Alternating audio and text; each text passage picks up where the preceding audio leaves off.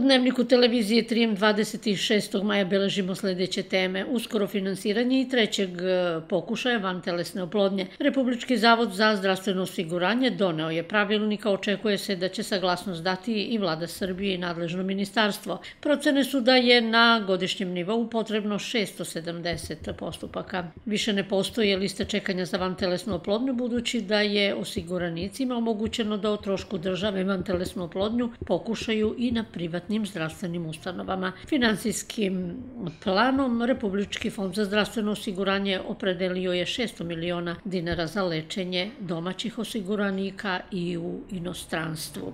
A prosečna plata u aprilu u Srbiji iznosila je 49.249 dinara i nominalno je veća za 7,4, a realno za 7% u odnosu na mart 2016. godine. Dnevnik nastavljamo o temama iz oblasti obrazovanja i kulture. Dodelom diploma najuspešnim učenicima i svečanim koncertom Muzička škola Petar Stojanović obeležila je juče dan škole i 39 godina postojanja.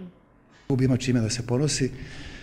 Čuli smo jedan lep koncert naših najboljih učenika, nismo mogli sve da izvedemo, nego samo one koji su učestvovali na republičkim takmičenjima, na republičkom u Beogradu i na festivalu muzičkih škola u Zaječaru.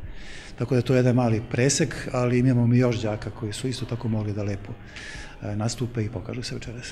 Godinama smo izgradili neke i manifestacije i akcije koje sprovodimo toko školske godine. Mora da se naglasi naravno da to sve ide uz redovnu nastavu, uz redovne časove. Dakle, imamo nek, neku još e, nadgradnju koja zahteva malo više angažmana profesora, naročito i učenika, ali to je sve ide u korist kvaliteta nastave i sve se to vraća kroz kasnije uspehe, kroz naše učenike, kroz nagrade i tako dalje. Za najuspešniju učenicu proglašena je Aleksandra Latinovića, specijalnu nagradu ponela je i Tamara Stefanović. Da, na republičkom takmičenju, na takmičenju kao solo uh, sam osela prvu nagradu i uh, duo sa klavirom, e, ja i Tamara Stefanović e, smo osvele 100 pojena isto prvu nagradu i Republički festival uh, sam isto osvela prvu nagradu i ja i Tamara Stefanović prvu nagradu. Žao mi je što napuštam, ipak sam ovde provela celo svoje detinstvo, ali mi opet i drago što idem u srednju, što nastavljam da radim ono što volim, a očekujem isto uspehe velike kao i do sada. Posle 12 godina preškolska ustanova UB predstavila se juče na pozorišnom festivalu Deder u Smederevu. Ovaj naš festival se zove Dedar skraćeno, Deče dramske umetnosti i organizujemo već 12. godinu po redu. E, to je deče stvaralaštvo, dece, vaspitača i roditelja.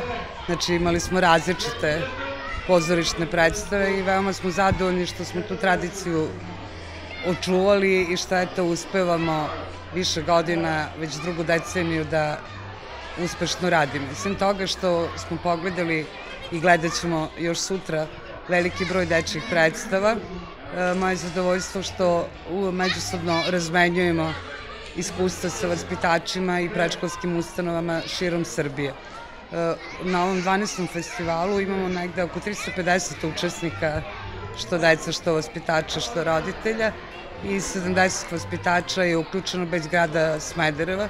Smederevo je sa dve predstave učestvovalo i odnosno dva objekta su pripremala. E, jako je lepo što, kažem, smo svi zajedno ovde, što razmenjujemo i što imamo još jedan e, e, stručni skup e, gde učimo jedni od drugih, gde se radujemo jedni drugima i uživamo u svemu tome. Imali smo sjajnu publiku decu koja su divno reagovala na naše drage koleginice glumce. Posle 12 godina smo se aktivirali i pre 12 godina smo bili sa pozorišnom predstavom e, Drugarstvo, kada smo dobili dosta, dosta nagrada, a nadam se da ćemo to i ovaj put uspeti da, da dobijemo. Znači, evaluacija je 2. juna, nadam se da ćemo doći i da ćemo imati sjajne rezultate. Hvala ovom divnom kolektivu koji se godinu i po dana spremao za ovu predstavu, koji su dosta truda i rada uložili. Posle radnog vremena su dolazili svake srede, probali, uz jako malo finansijskih sredstava smo uspeli ovo da uradimo. Bili smo stvarno dobri, jer nam ovo nije prva predstava, mi smo već profesionalci, tako reći. Ovaj, tako da baš je bilo zanimljivo, deca su nas lepo propratila, ja sam moju crvenkapu našla i vrlo sam zadovoljna zbog toga. Evo i zahvalice. 2. juna se uručuju nagrade najuspešnijima upske vaspitačice očekuju lepa priznanja. A kao i svake godine i ove su kraj srednjoškolskog obrazovanja u Strubače i šetnju ulicama grada obeležili maturanti Upske gimnazije. Evo atmosfere.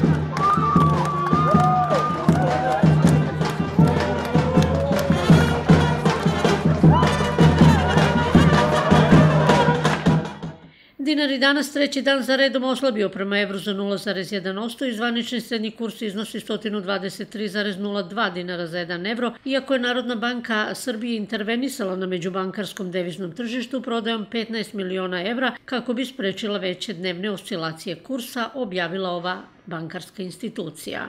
Što se biometeorološke situacije tiče, ona je danas povoljna za većinu hroničnih bolesnika i osetljivih osoba, ali se ipak opreza savetuje osobama sa disajnim oboljenjima. Meteoropatske reakcije moguće u blažoj formi u vidu malaksalosti i glavobolje.